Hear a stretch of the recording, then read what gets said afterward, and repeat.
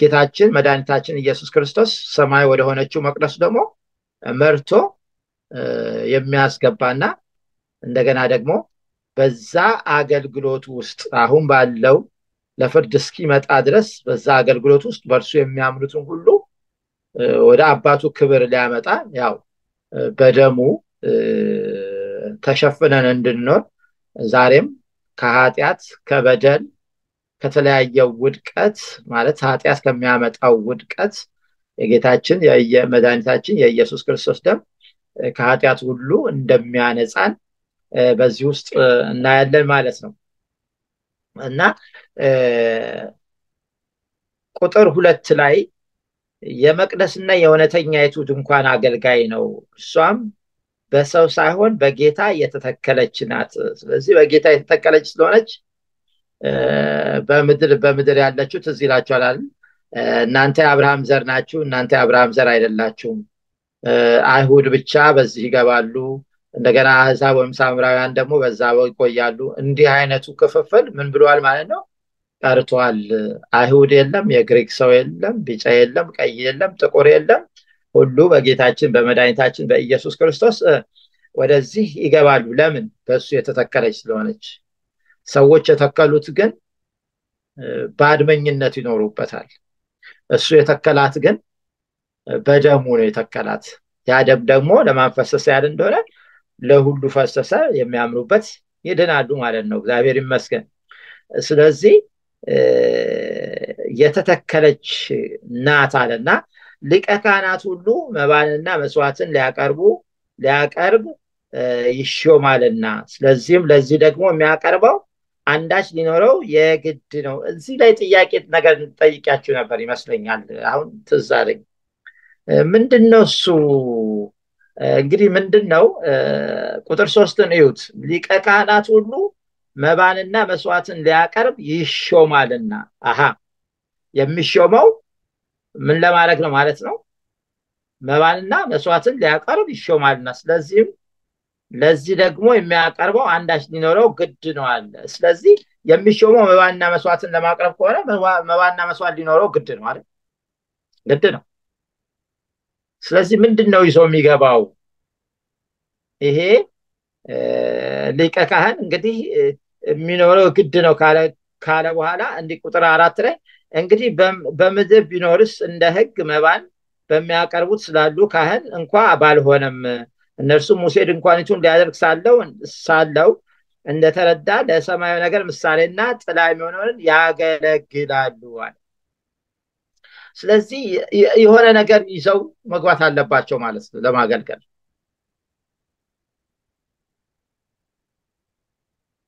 አለበለዛ አገልግሎቱ ሙሉ አይደለም። ይዘው የሚገቡት ነገር ከሌለ። ስለዚህ ሊቀ ካህናት ሁሉ መባና መስዋዕትን ሊያቀርብ ይሾማልና ስለዚህ በዚህ ደግሞ የሚያቀርቡት አንዳች ሊኖረው የግድ ነው። ከሌለው መባና መስዋዕት አቅራቢ አይደለም። ምክንያቱም የሚሾመው መባና መስዋዕትን ለማቅረብ ስለሆነ ማለት ነው። እንግዲህ የስራቸው ከፍተኛው ክፍል መባና መስዋዕትን ማቅረብ እንደሆነ በዘሌዋውያን ተገልጦ የምናየው ነገር ነው ጌታችን መድኃኒታችን ኢየሱስ ክርስቶስ መባና መስዋዕትን ይዞ የገባው ምንድን ነው?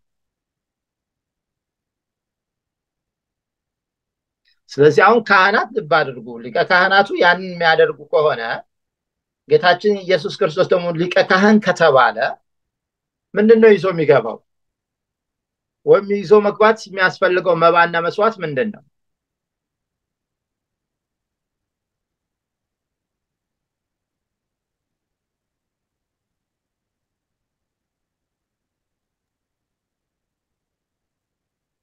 ራሱን ደም?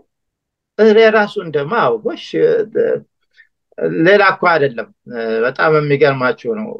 ደሙን ነው ይዞ እኮ የገባው ነው ባለፈው ትዝ ይላችኋል አይደል? ስናነበው እንዲገባችሁ ብዬ ነው የጠበቅኳችሁ። ማለት ከእናንተ እንዲመጣ ስለፈለግኩ ነው። ምዕራፍ ዘጠኝ ላይ ምዕራፍ ዘጠኝ ላይ ቁጥር ሀያ አራት ከቁጥር ሀያ ሶስት ጀምሮ ስናነበው እንግዲህ በሰማያት ያሉትን የሚመስለው ነገር በዚህ ሊነጻ እንጂ በሰማያት ያሉት ራሳቸው ከእርሱ ይልቅ በሚበልጥ መስዋዕት ሊነጹ ግድ ነበረ። ክርስቶስ በእጅ ወደ ተሰራች የእውነተኛይቱ ምሳሌ ወደምትሆን ቅድስት አልገባምና፣ ነገር ግን በእግዚአብሔር ፊት ስለኛ አሁን ይታይ ዘንድ ወደ እርሷ ወደ ሰማይ ገባ። ሊቀ ካህናትም በየዓመቱ የሌላው እንደሚዞ ወደ ቅድስት እንደሚገባ ራሱን ብዙ ጊዜ ሊያቀርብ አልገባም። እንዲህ ቢሆንስ ዓለም ከተፈጠረ ጀምሮ ብዙ ጊዜ መከራን ሊቀበል ባስፈለገው ነበር። ስለዚህ አንድ ጊዜ ይዞ የገባው ምን ነው ማለት ነው? ደሙን ነው። ልክ ሊቀ ካህኑ ያንን ነገር ይሰው እንደሚገቡ ማለት ነው። በነገራችን ላይ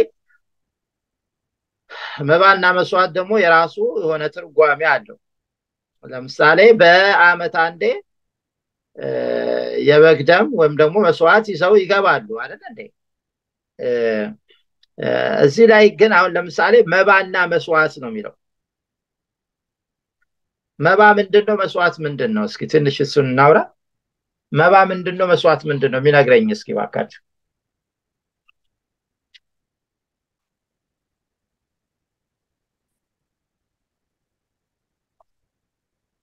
ልጠብቃችሁ እስኪ።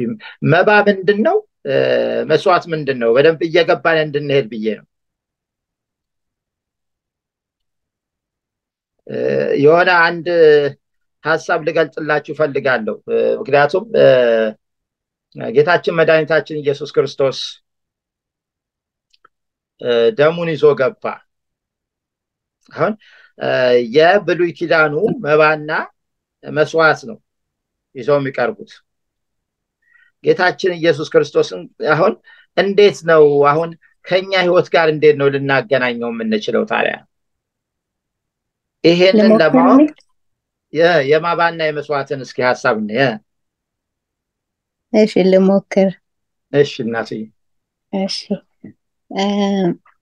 መባ እኔ እንደሚገባኝ እንደ ስጦታ ማቅረብ ይመስለኛል። እንደ ስጦታ እንደ ወረታ እንደ ማቅረብ ነው። መስዋዕት ደግሞ የህይወት መስዋዕትን መክፈል ይመስለኛል። እሱ ነው። በጣም ጥሩ ጥሩ ጥሩ ሀሳብ ነው። ሌላ ከሚያግዛት አለ? በጣም ቆንጆ ነው። እግዚአብሔር ይባርክሽ። አሜን። አቤት። እኔም ትንሽ ልሞክር። እሺ፣ እሺ፣ እባክሽ። ያው እንዳለችው መባ ከኛ ለእግዚአብሔር የምንሰጠው ስጦታ ስለ ምስጋና። ድምፅሽን ከፍ ታደርጊ ትንሽ። እሺ። አሁን ሲሰማ? አሁን ሲሰማ? ይሰማል እናትዬ ይሰማል። እሺ እሺ። መባ እኛ ለእግዚአብሔር የምንሰጠው ስጦታ እንደሆነ ነው። ለእግዚአብሔር ይገባዋል ብለን ካለን ነገር ከሰጠን ነገር ላይ የምንሰጠው ስጦታ እንደሆነ እረዳለሁ። መሰዋት ግን ስለ ኃጢአታችን ስለ መተላለፋችን የሚደረግ ከዛ ካለን ኃጢአት ወይ ደግሞ ከተላለፍ ነው የኮርማም የእርግብም መስዋዕት ተይዞ የሚኬደው ይሄ በደም በደም የሚከፈል በኃጢአታችን ፋንታ የሚቀርብ እንድንመጣበት መንገድ እንደሆነ ይመስላል። በዚህ እንደዛ ነው። አይዶን ነው። ቃለ ሕይወት ያሰማል። እግዚአብሔር ይባርክሽ። ተባረኪ። ድምፅሽ ራቀብኝ። እኔ የስልኬ ይሁን በቃ የእኔ ብሉቱዝ ይሆናል። እንደዛ ይሆናል እንግዲህ ያው ግን ሀሳብሽን ዋናው ሀሳብሽን ሰምቼዋለሁ። እግዚአብሔር ይባርክሽ። የሁለታችሁም ሀሳብ አንድ አይነት ሀሳብ ነው። የቃሉም ሀሳብ ይሄው ነው። ምንድን ነው ልዩነት ያለው ምንድን ነው? መስዋዕት በብሉይ ኪዳን እንደምታውቁት መባ የምንለው ለአምላክ የምናቀርበው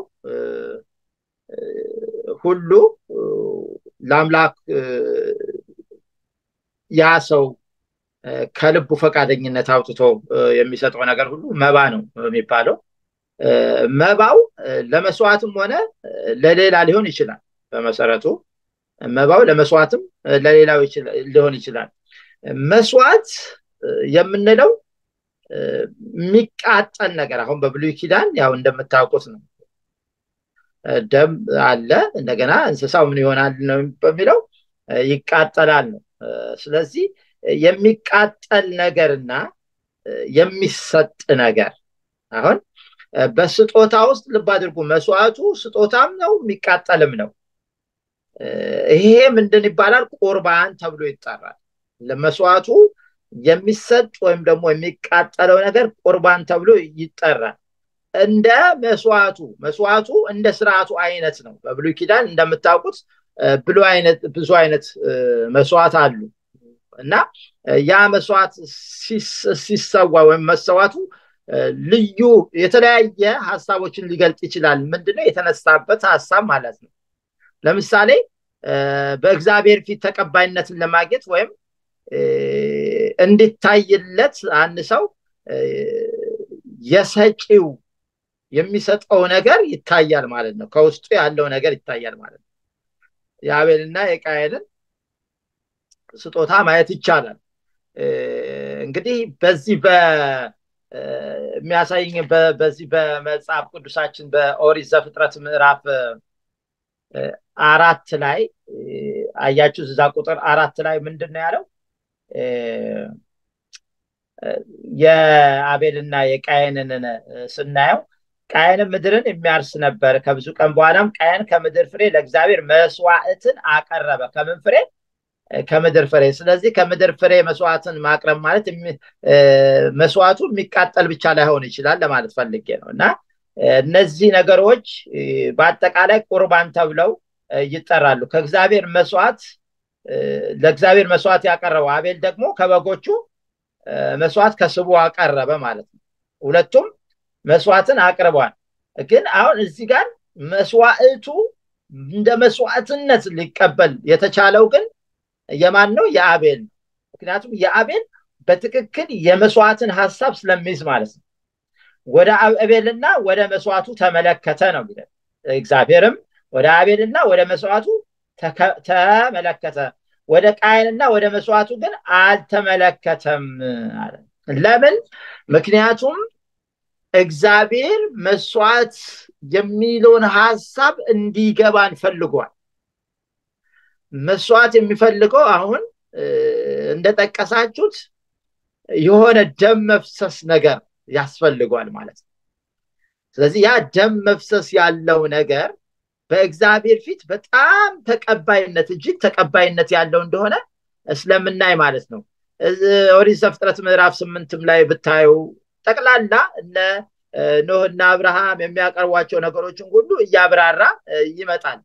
እግዚአብሔር ከእስራኤል ያዘዛቸው መስዋዕቶች እነዛ የኦሪቱ መስዋዕቶች አሉ አይደል?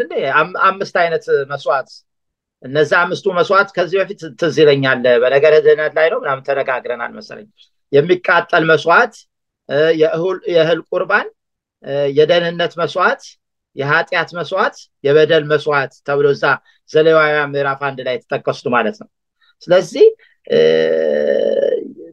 እነዚህ ሁሉ መስዋዕት ናቸው።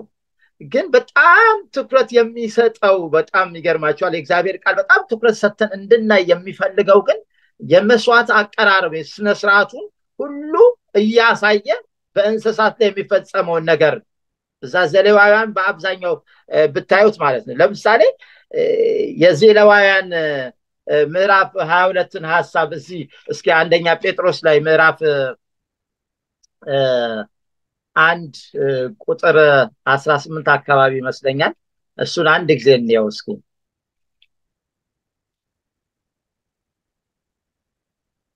አንደኛ ጴጥሮስ ምዕራፍ አንድ ቁጥር አስራ ስምንት ላይ ምን ይለናል? ዓለም ሳይፈጠር ይላል ከላይ ቁጥር አስራ ስምንት ከአባቶቻችሁ ከወረሳችሁት አለ ከአባቶቻችሁ ከወረሳችሁት ከከንቱ ኑሯችሁ በሚያልፍ ነገር በብር ወይም በወርቅ ሳይሆን ነውርና እድፍ እንደሌለው እንደ በግ ደም በክቡር የክርስቶስ ደም እንደተዋጃችሁ ታውቃላችሁ። ዓለም ሳይፈጠር እንኳ አስቀድሞ ታወቀ ይላል። እንግዲህ ልብ አድርጉ። ምንድን ነው ይሄ? በወርቅ አይደለም ነውርና እድፍ እንዳለውም እንደ በግም ደም አይደለም። ይሄ የተለየ ደም ነው። ምክንያቱም እንደምታውቁት ቅድስና ከሌለው በዓመት አንዴ ይዞ የሚገባው ካህን እዛ መቅደስ ውስጥ ሊቀሰፍ ይችላል ብለናል። ስለዚህ ይሄ ግን ምንም አይነት ነገር የሌለው ሕጸጽ የሌለው ንጹሕ ሆኖ ጌታችን መድኃኒታችን ኢየሱስ ክርስቶስ እንደቀረበ እናሳያለን ያሳያል ማለት ነው። በዚህ ውስጥ እንግዲህ የሚያቀርበውን ሰው አቀራረቡን እንዴት እንደሚያቀርበው የመስዋዕቱ ደም በእግዚአብሔር ፊት እንዴት እንደሚቀርብ ካህን ከእንስሳው እንደ መስዋዕቱ አይነት ልዩ ልዩ ክፍልና ብልት እንደሚያቃጥል ይህን ሁሉ ነገር ዘርዝሮ ይናገራል። ይህ ሁሉ ነገር ለምንድን ነው ያስፈለገው ያላችኝ እንደሆነ እግዚአብሔር ምክንያት ስላለው ነው። እግዚአብሔር ምክንያት ስላለው ነው። ካህን አንዳንድ ጊዜ አቅራቢው ከእንስሳ ያልተቃጠለውን በመሰዊያ አጠገብ እንዲበላ ታዘዋል አደለ እንዴ? እንደገና ደግሞ በመስዋዕቱ መሰረት ከእግዚአብሔር ጋር ህብረት እንዳለው ደግሞ ያሳያል ማለት ነው። ይህንን ከዘሌዋውያን ዘሌዋውያን ምዕራፍ ስድስትን ቁጥር ሀያ ስድስት አካባቢ ከዚህ አንደኛ ቆሮንቶስ ምዕራፍ አስር ላይ ካለው ቃል ጋር ይነጻጸርልናል። አሁን ያልኳቸው ሀሳብ አሁን ምን ያህል እግዚአብሔር በዚህ ነገር ላይ ስርዓት ሰርቶ እንደሰጣቸው እና እንዴት እንደደከመ ያንን ነገር እንድናስተውለው ስለፈለግኩ ነው። ምክንያቱም ይሄ ሀሳብ ሲገባን የኛ ለእግዚአብሔር በተለይ ለጌታችን ለመድኃኒታችን ለኢየሱስ ክርስቶስ እግዚአብሔር በእርሱ በኩል ስላለው ስላለው ስላደረገው ማዳን ቸል እንዳንል ስለሚያደርገን ማለት ነው። በተለይ ሁልጊዜ እግዚአብሔርን የመፍራት በእግዚአብሔር ህይወት የመኖር ህይወትን እየተለማመድን ደስተኛ ያለው ኑሮ እንድንኖር ሁሉ ያደርጋል። ምክንያቱም እግዚአብሔር አጠገባችን እንዳለ እስኪመስለን ድረስ ነው አኗኗራችን የሚሆነው ይሄ ነገር ሲገባ ማለት ነው። አንደኛ ቆሮንቶስ ምዕራፍ አስር ቁጥር አስራ አራት ጀምሬ ሳላንብብላችሁ እስኪ ምን ይላል? ስለዚህ ወዳጆች ሆይ ጣዖትን ከማምለክ ሽሹ፣ ልባሞች እንደ መሆናችሁ እላለሁ በምለው ነገር እናንተ ፍረዱ። የምንባረከው የበረከት ጽዋ ከክርስቶስ ደም ጋር ህብረት ያለው አይደለምን? የምንቆርሰውስ እንጀራ ከክርስቶስ ስጋ ጋር ህብረት ያለው አይደለምን? አንድ እንጀራ ስለሆነ እኛ ብዙዎች ስንሆን አንድ ስጋ ነን። ሁላችን ያን አንዱን እንጀራ እንካፈላለንና በስጋ የሆነውን እስራኤልን ተመልከቱ። እዚህ ጋር አስተውሉልኝ በደንብ በስጋ የሆነውን እስራኤልን እስራኤልን ተመልከቱ። መስዋዕቱን የሚበሉ የመሰዋ ማህበርተኞች አይደሉምን? እንግዲህ ምን እላለሁ? ለጣዖት የተሰዋ ምናምን ነው እላለሁ ወይስ ጣዖት ምናምን እንዲሆን እላለሁ? አይደለም። ነገር ግን አሕዛብ የሚሰዉት ለአጋንንት እንዲሆን እንጂ ለእግዚአብሔር እንዳይሰዉ እላለሁ። ከአጋንንትም ጋር ማህበርተኞች እንድትሆኑ አልወድም። የጌታን ጽዋና የአጋንንትን ጽዋ ልትጠጡ አትችሉም። ከጌታ ማዕድና ከአጋንንት ማዕድ ልትካፈሉ አትችሉም። ወይስ ጌታ እናስቀናውን? እኛስ ከእርሱ ይልቅ እንበረታለንን? ብሎ ሀሳቡን ይቀጥላል። በጣም የሚገርም ነው። ምንድን ነው ልዩ እንደሆነ ያስቀምጠዋል። ልብ አድርጉ። ያኛው እንከን ያለበት እንደሆነ ሊናገር ሊገልጽ ስለፈለገም ጭምር ነው። እንከን ያለበት ነገር ነው። ነገር ግን ይሄ እንከን ያለበት ነገር በአዲስ ኪዳኑ በምናደርገው ነገር ግን ምን ያህል የተቀደሰ እንደሆነ በቤተክርስቲያን የምናደርገው ነገር ምን ያህል የተቀደሰ እንደሆነ የተባረከ እንደሆነ ህብረት የምንፈጥርበት እንደሆነ አንዳችን ከአንዳችን ጋር ህብረት የምናደርግበት ምክንያቱም እኛ ከክርስቶስ ጋር ክርስቶስ ከኛ ጋር እንደሆነ ዮሐንስ ወንጌል ምዕራፍ ስድስት ስለሚገልጥልን ማለት ነው። ስለዚህ የክርስቶስ መስዋዕት የተለየ አይነት ሁኔታ ባለው ለምሳሌ ትዝ የኢየሩሳሌም ቤተ መቅደስ በሮማውያን እጅ ሲፈርስ በዛ በሰባ ዓመተ ምህረት ማለት ነው። አይሁድ የደም መስዋዕቶችን ይሰዉበት ነበር። ምንድን ነው ሲሰዉበት ግን ከዛ በኋላ ያው ቀርቷል ያ ነገር። ምክንያቱም ታላቁ የአዲስ ኪዳን ጌታችን መድኃኒታችን ኢየሱስ ክርስቶስ መስዋዕት ራሱ ስለሆነ ማለት ነው። ህይወቱን በመስቀል ላይ ስለሰዋ የብሉ ኪዳን መስዋዕቶች ሁሉ በእርሱ ተፈጽመዋል። እና እግዚአብሔር ይመስገን። እና ይሄ ምንድን ነው የሚያሳየው? የእግዚአብሔር በግ ብሎ ቅዱስ ዮሐንስ መጥምቆ ዮሐንስ እንደመሰከረለት እዛ ዮሐንስ ወንጌል ምዕራፍ አንድ ቁጥር ሀያ ዘጠኝ ላይ ማለት ነው። ስለዚህ ጌታችን መድኃኒታችን ኢየሱስ ክርስቶስ የእሱ እውነተኛ መስዋዕት ሆኖ እንደቀረበ ምክንያቱም ቅድም እንዳልነው more መስዋዕትን ትኩረት ወይም ደግሞ ቦታ የሰጠው የአቤልን መስዋዕት ቦታ የሰጠው አንድም ከአቤል ልብ ጋር ብቻ ሳይሆን መስዋዕት የሚለውን ሀሳብን ጭምር እግዚአብሔር አሻግሮ ያየው ነገር ስላለ ማለት ነው። ይኸው ምንድን ነው እዛ ኤፌሶን ምዕራፍ አንድ ላይ የሚነግረን አለም ሳይፈጠር በፊት በልጁ በኢየሱስ ክርስቶስ አሰበን ካለ መስዋዕት ሆኖ ተዘጋጅቷል ማለት ነው። ስለዚህ ይህንን መስዋዕት ሊያሳይ ስለፈለገ የአቤል መስዋዕት እዚህ ጋር መጥቶ ጌታችን መድኃኒታችን ኢየሱስ ክርስቶስ ነፍስ በደም ውስጥ ስለሆነች ነፍሱን አሳልፈው ስለኔና ስለ እናንተ እንደሰጠ ለማሳየት። ስለዚህ እነሱ መባንና መስዋዕትን ቅድም ያልኳችሁ መባንና መስዋዕትን ይዘው ይገባሉ። መባ አለ መስዋዕት አለ ይዘው ይገባሉ። እንደ ስርዓቱ እንደ አቀራረቡ ቅድም እንዳልኳችሁ ማለት ነው። ምንድን ነው ወደ እኛ ጋር ስንመጣ አሁን ልብ አድርጉ እኛ ሁሉ አሁን የመንግስቱ ካህናት ነን አደለ የመንግስቱ ካህናት ማለት ምንድን ነው መንግስቱን የምናገለግል ማለት ነው አደለ ይሄ የሽማግሌዎችን የቤተ ክርስቲያኑን ክህነት ለብቻ አስቀምጡት ከእሱ ጋር እያነጻጽርኩ አይደለም። እሱ ለብቻ ነው የተለየ ነው።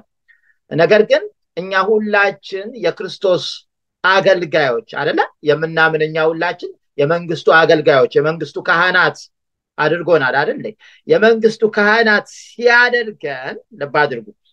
ሲያደርገን እዚህ አንድ ጊዜ ወደ ምዕራፍ 13 እዛው ዕብራውያን ምዕራፍ 13 የመጨረሻው ምዕራፍ ላይ ከዚህ በፊት አንስቼላቸዋለሁ ይመስለኛል።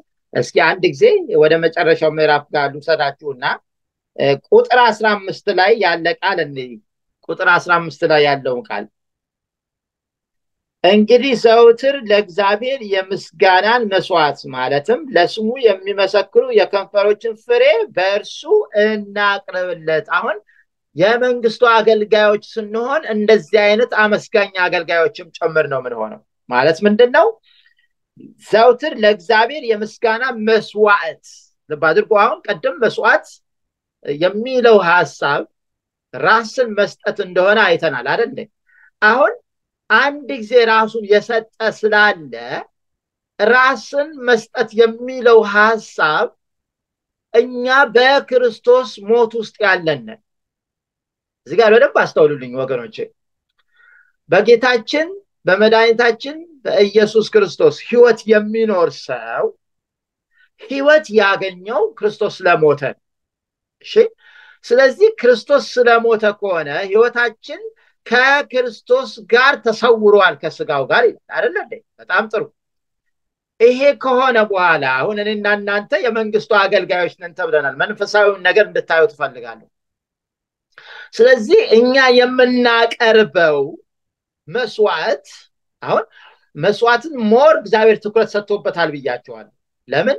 ሊመጣ ያለውን ጌታችን መድኃኒታችን ኢየሱስ ክርስቶስን ሊገልጥልን ስለፈለገ ማለት ነው ስለዚህ ጌታችን መድኃኒታችን ኢየሱስ ክርስቶስ ራሱን መስዋዕት አድርጎ አንድ ጊዜ ለአባቱ አቀረበ። አሁን እግዚአብሔር አብረክቷል በዚህ።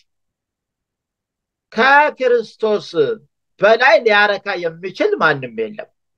አባቱን ሊያረካ የሚችል የፈለጋችሁ ጥሩ ስራ ብትሰሩ ክርስቶስ አባቱን እንዳረካው ልታረኩት አትችሉ የረካን ማርካት ስለማትችሉ ነገር ግን ነገር ግን በክርስቶስ ውስጥ ያለን እኛ ሁላችን የምናቀርበው መስዋዕት አለ። ይሄ መስዋዕት የከንፈር ፍሬ ተብሎ ይጠራል። ይሄ የከንፈር ፍሬ ምስጋና ነው። ምስጋና ነው። አመስጋኞች መሆን እግዚአብሔር ስላደረገልን ነገር አመስግነን አመስግነን አንጨርስም። እናንተ ወገኖቼ መላእክት ዓለም ከተፈጠረ ጀምሮ ይኸው አድረኩም እንዳመሰገኑ ነው። ደከመንም አላሉ እንዳመሰገኑ ነው። ሁልጊዜ አዲስ የሚሆንባቸው ጌታ፣ ሁልጊዜ አዲስ የሚሆንባቸው አምላክ አመስግነው ሰግደው ቀና ሲሉ አዲስ ይሆንባቸዋል። አመስግነው ሰግደው ቀና ሲሉ አዲስ ይሆንባቸዋል።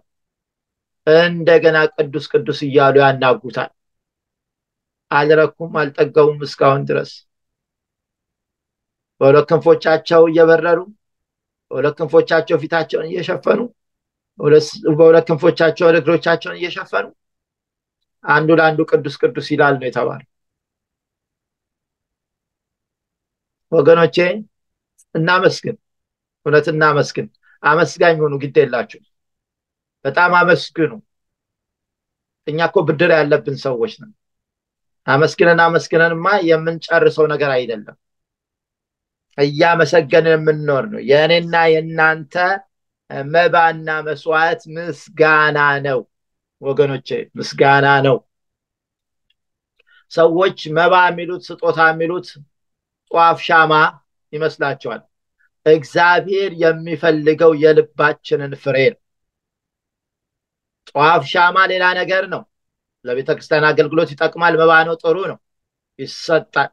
እሷ እግዚአብሔር ግን መስዋዕትን ይፈልጋል።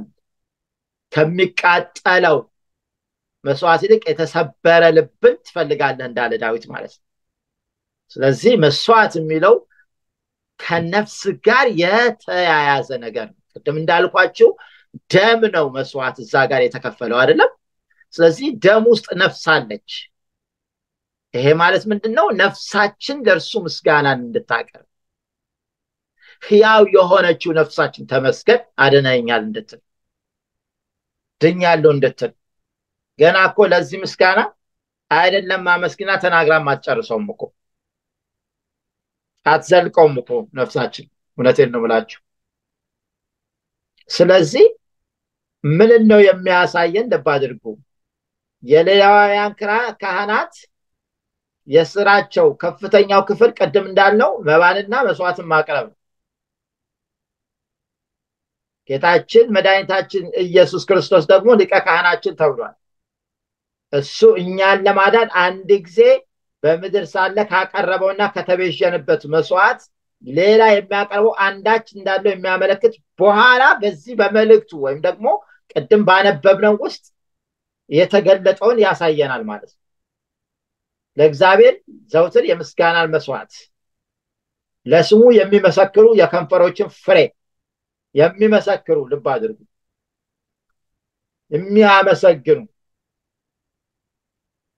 እንናቀርብለት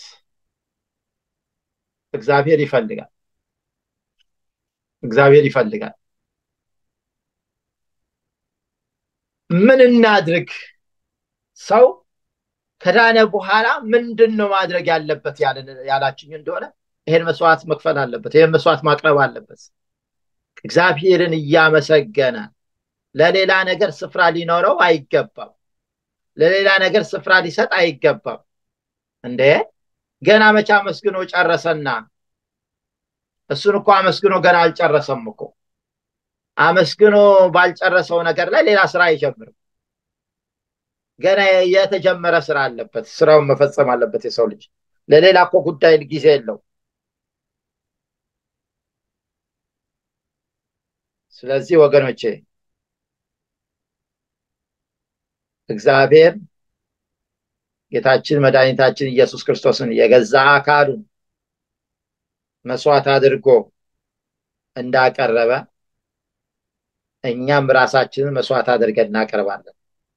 ራሳችንን መስዋዕት አድርገን እናቀርባለን ማለት ራሳችንን ለሞት እንሰጠዋለን ማለት አይደለም። በምስጋና ወደፊቱ እንቀርባለን። እግዚአብሔርን እናመሰግናለን። ምክንያቱም የሚመሰገን አምላክ ስለሆነ የተደረገልን ከዚህ በላይ ስለሆነ ስለዚህ በዛ አይነት ህይወት ውስጥ እንድናልፍም ጭምር ነው የሚነግረን የዕብራውያን ጸሐፊ የቁጥር ሶስቱን ሀሳብ ሊቀ ካህናት ሁሉ መባልና መስዋዕትን ሊያቀርብ ይሾማልና ስለዚህም ለዚህ ደግሞ የሚያቀርበው አንዳች ሊኖረው የግድ ነው እስከሚለው ድረስ ነው እያየን ያለ ነው የግድ ነው። ስለዚህ የግድ ከሆነ አሁን እኛስ የግድ የምናቀርበው ነገር ምንድን ነው ያለን እንደሆነ መስዋዕት ግድ ነው። ስለዚህ ይሄ መስዋዕት የከንፈር ፍሬ መስዋዕት ተብሎ ይጠራል። ስለዚህ ምንድን ነው ያለ አሁን ከቁጥር አራት ላይ ሲያመጣው እንግዲህ በምድር ቢኖርስ እንደ ህግ መባንና መባን የሚያቀርቡትን ስላሉ ካህን እንኳ ባልሆነም እነርሱም ሙሴ ድንኳኒቱን ሊያደርግ ሳለው እንደተረዳ ለሰማያዊ ነገር ምሳሌና ጥላ የሚሆነውን ያገለግላሉ። አሁን እነዚህ አሁን ጥላ የሚሆነውን የሚያገለግሉትን ጥላ የተባለው ነገር የሚያገለግሉት ምን እንደሆነ የእግዚአብሔር ቃል ቀስ እያለ ይገልጽልናል ማለት ነው። ምንድን ነው አንጨርሰውም ይሄን ነገር ጀምሬላችሁ ተዋዋለሁ ቁጥር አራትን እንቀጥላል ቁጥር አራትና አምስትን እንቀጥላለን። ሀሳቡን ብቻ አስቀምጬላችሁ እናንተ revise እያደረጋችሁ ትቆዩኛላችሁ። እንደምታውቁት በአይሁድ ህግ መሰረት ወይም ደግሞ በዘር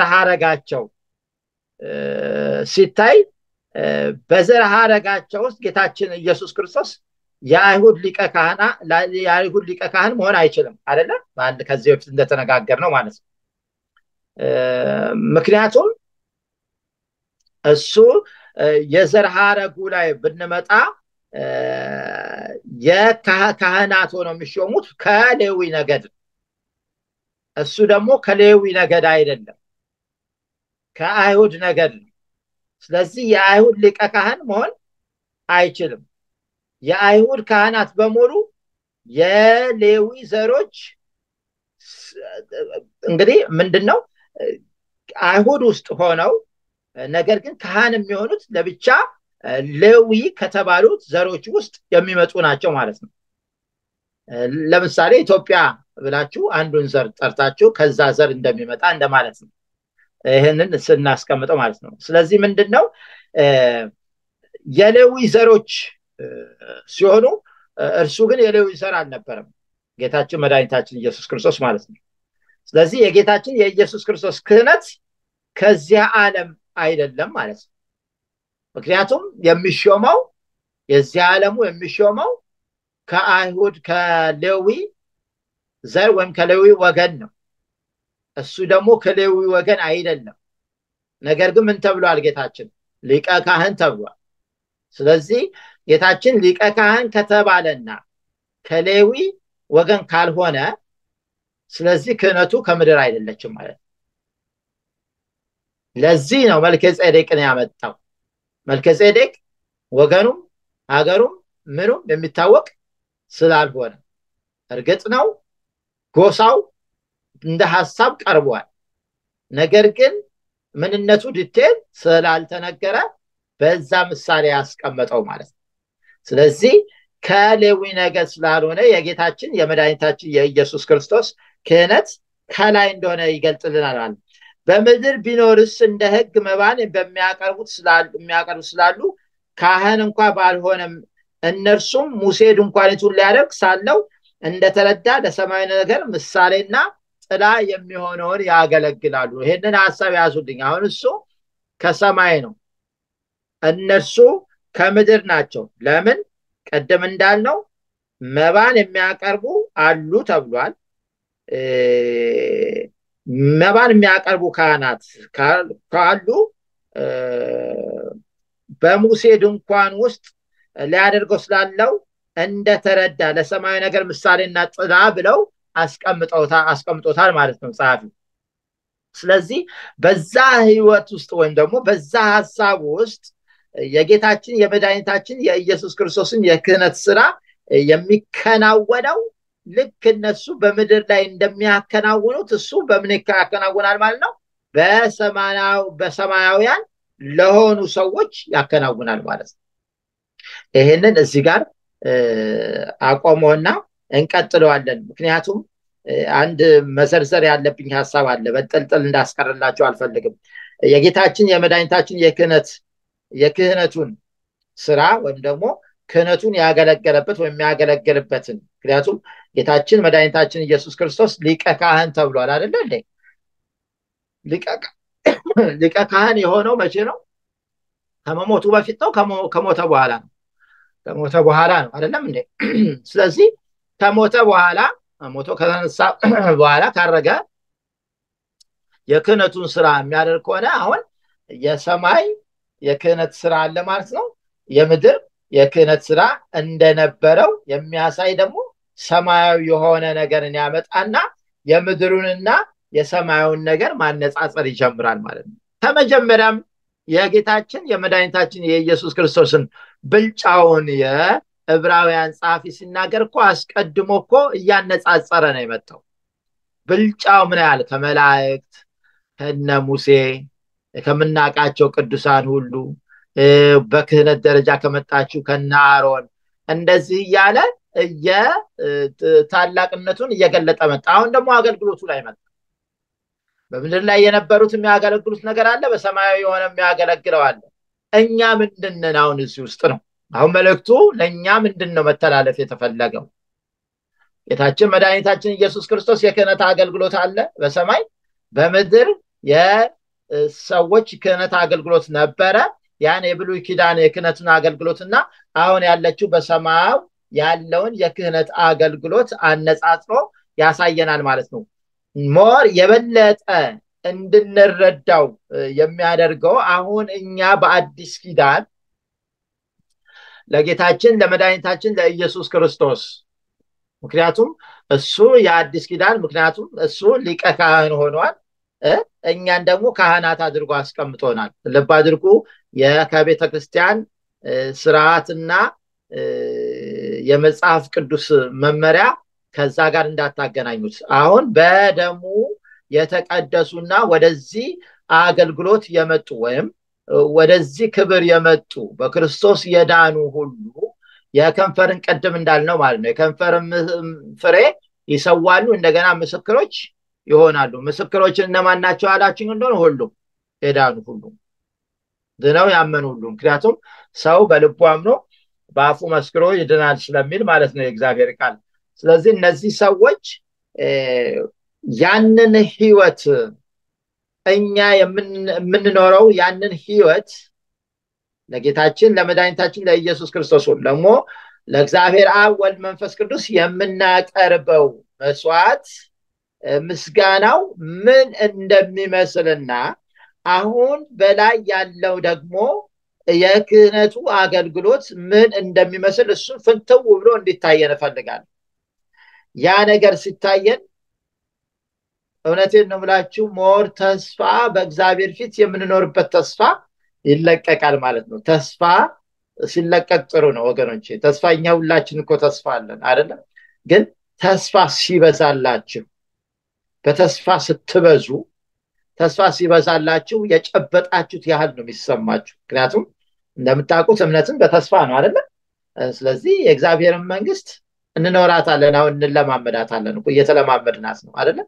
ያችን የእግዚአብሔርን መንግስት ስንለማመዳት በትክክል እንደጨበጥናት ፊል እንድናደረገው የእግዚአብሔር ቃል ይፈልጋል ማለት ነው እና ይህንን ሀሳብ እዚህ ላይ እናቆማለን፣ እንቀጥላለን።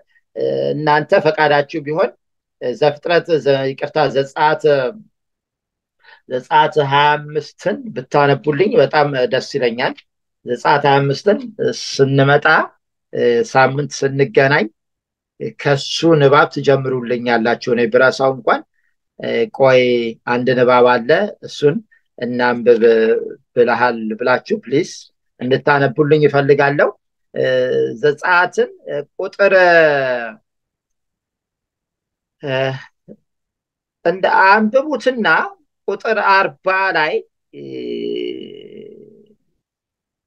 ቁጥር አርባ ላይ ሀሳቡን እንድትይዙልኝ ይፈልጋለሁ። አሁን ጌታችን መድኃኒታችን ኢየሱስ ክርስቶስ ያለውን አገልግሎት more እንድናስተውለው ስለምፈልግ ነው።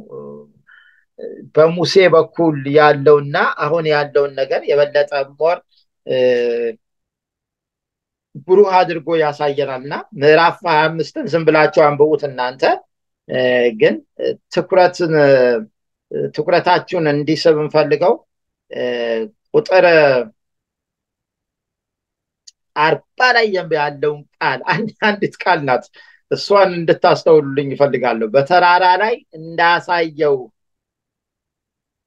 በተራራ ላይ እንዳሳየው ምሳሌ እንድትሰራ ተጠንቀቅ የሚል ቃል አለ።